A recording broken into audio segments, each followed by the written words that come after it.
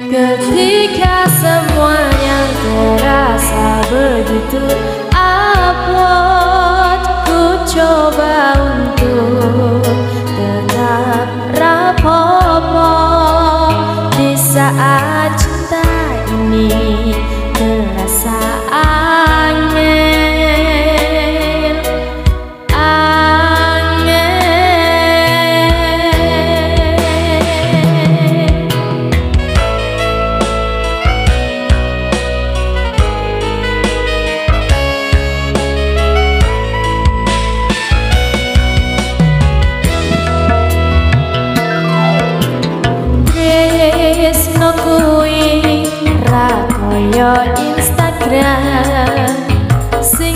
លេចលា